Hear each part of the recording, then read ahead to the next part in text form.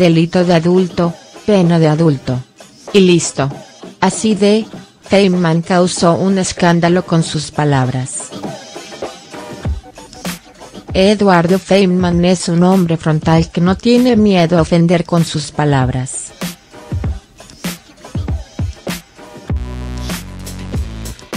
Por ese motivo, cada vez que habla, inevitablemente, se generan polémicas, y mientras miles de personas apoyan su discurso otras miles lo insultan, considerando que no debería estar más en televisión o radio y pidiendo que se la haga juicio por haber insultado a tal o cual personalidad pública.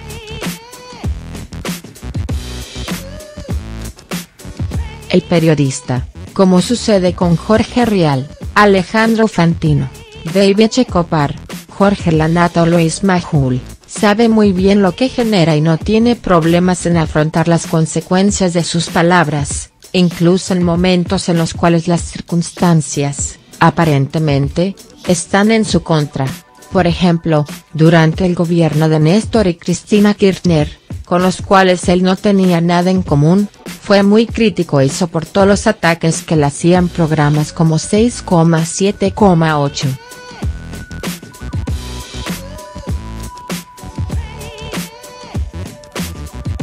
Hoy, es Televisión Registrada quien se encarga, cada semana, de poner informes donde deja a Feynman muy mal parado, pero, obviamente, el periodista no parece tomárselos demasiado en serio, y la muestra más clara es que sigue, de manera desafiante, refiriéndose a la expresidenta Cristina Fernández de Kirchner como la jefa de la banda y dedicando palabras aún más fuertes sobre su hijo Máximo.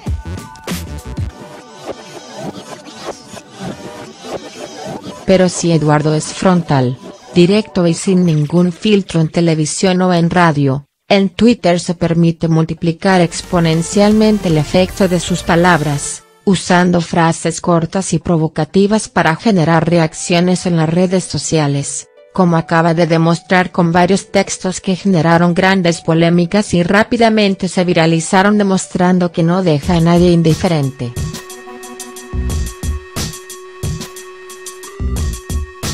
Sobre la condena a Milagros Salas se escribió, bien condenada está la delincuente.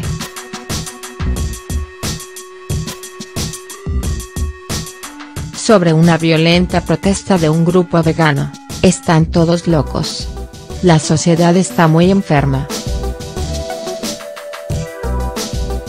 Sobre un niño de 14 años acusado de asesinar a un policía, delito de adulto, pena de adulto. Y listo. Así de simple. Pepín.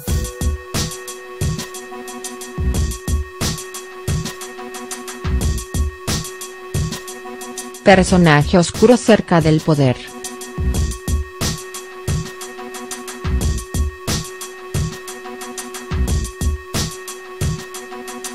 Los piquetes serán financiados por el FMI y los golpistas también.